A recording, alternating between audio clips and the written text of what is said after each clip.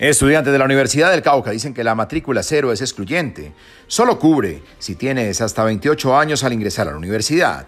Si tienes técnico o tecnólogo, no puedes ser un beneficiario. Aún si eres estrato 1, 2 y 3, solo puedes ser beneficiario si estás en categoría A o B del CISBEN 4. O si estás en C, te harán un estudio. Y si estás en D, quedas excluido de la matrícula cero. Al día de hoy, el Ministerio de Educación Nacional define un monto de recursos destinados a cubrir las matrículas de los estudiantes de estrato 1, 2 y 3. Aún con la Universidad del Cauca pueden haber estudiantes que cumplen con los criterios para ser beneficiarios. Si la universidad se le acaba el monto girado por el Ministerio, debe ser excluido el estudiante. Hablamos con líder estudiantil, quien dice que continuarán las protestas y probablemente pueden irse a paro la Universidad del Cauca. Bueno, hoy nos encontramos aquí a las afueras del claustro Santo Domingo. Me encuentro con Emanuel Espinela, un estudiante de la Universidad del Cauca, que está preocupado porque la gratuidad, la famosa matrícula cero, no se está dando. Bienvenido. Muchas gracias. Sí, la situación es muy grave. Eso es una situación que está pasando no solo en la Universidad del Cauca, sino en todo el país. ¿Qué sucede? Después, durante la pandemia, ustedes saben que la situación económica de las familias se volvió muy complicada los estudiantes en todo el país enarbolamos una consigna que se denominaba matrícula cero, que era que el Estado asumiera las matrículas de los estudiantes tanto de pregrado como de posgrado. Digamos, esa fue la, la propuesta inicial.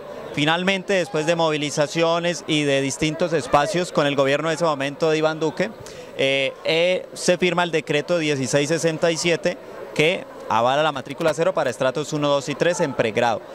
¿Qué es lo que sucede? Eh, a día de hoy, con el cambio de gobierno, eh, digamos, durante el gobierno de, Iván Duque se dejaron unos criterios establecidos de quienes podían acceder a la matrícula cero. Algunos de ellos los, los hemos consignado en, un, en, una chapola que estamos repartiendo. ¿Qué es lo que sucede? Que ahora con el gobierno de Gustavo Petro se ratifican esos criterios de Duque, pero con un agravante, y es que el CISBEN se actualizó. La nueva metodología del CISBEN, que se llama CISBEN 4, que ya no es por números, sino por letras, A, pobreza extrema, B, pobreza, C, vulnerable y D, pues que está relativamente bien, excluye a los estudiantes, aún siendo estratos 1, 2 y 3.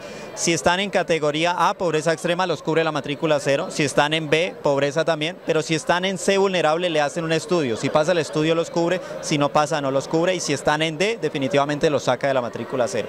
También los saca si tienen un técnico o un tecnólogo. Así no hayan recibido el título. También los saca si tienen más de 28 años y está sucediendo una situación todavía más grave. Cada año el Ministerio de Educación Nacional define un monto de recursos por el concepto de matrícula cero para las universidades. Digamos que eh, cuando nosotros iniciamos este proceso era 7.600 millones en pregrado. Eh, si el número de estudiantes, las matrículas de los estudiantes se sobrepasan ese monto que asigna el Ministerio de Educación, así hayan estudiantes en la Universidad del Cauca que cumplen con todos los requisitos para ser beneficiarios, la universidad los tiene que sacar porque no alcanza la plata. O sea, delicado. Y hay otro tema que dicen que les están cobrando los años anteriores. Sí, ¿qué es lo que pasa? Eh, a los estudiantes que se van a graduar ahorita el 16 de septiembre les notificaron hace una semana el martes que tenían que pagar los semestres anteriores del 2022 y el de este semestre. Eh, muchos estudiantes, por ejemplo, los, los casos más graves son de derecho nocturno y de regionalización que les toca pagar 4 millones, 6 millones y solo tienen hasta este viernes para pagarlo. De ahí fue que se conoció esta problemática tan sensible, ya son 3.642 los estudiantes afectados, pero solo se han notificado a 200 que son los que se van a graduar ahora en septiembre. ¿Qué ha dicho el señor rector al respecto? Señor rector nos ha convidado a que paguemos. Nosotros lo que estamos diciendo es que ya el Ministerio de Educación Nacional giró los montos del 2022. Eso no es retroactivo. ¿sí? Nosotros ya interpusimos una tutela la semana pasada. lo que, la consigna que le estamos diciendo a los estudiantes es que nos negamos a que la universidad pague esa plata, o sea, que le devuelva esa plata que ya le dio el Ministerio de Educación, porque la crisis de la universidad es grandísima. Esta universidad hoy tiene un déficit de 11 mil millones de pesos y en vez del Ministerio de Educación ayudarnos, va a terminar de asfixiar más a la universidad y los estudiantes. ¿Qué va a pasar con los estudiantes? ¿Tendrán clase? ¿No tendrán clase? ¿Van a haber manifestaciones? Van a haber manifestaciones. Vamos a tratar de que estas manifestaciones se vuelvan eh, manifestaciones a nivel nacional porque la situación es nacional, está pasando en todas las universidades de Colombia. Hoy tenemos una asamblea para hablar de este tema aquí en la plazoleta de la Facultad de Derecho y en ese proceso estamos.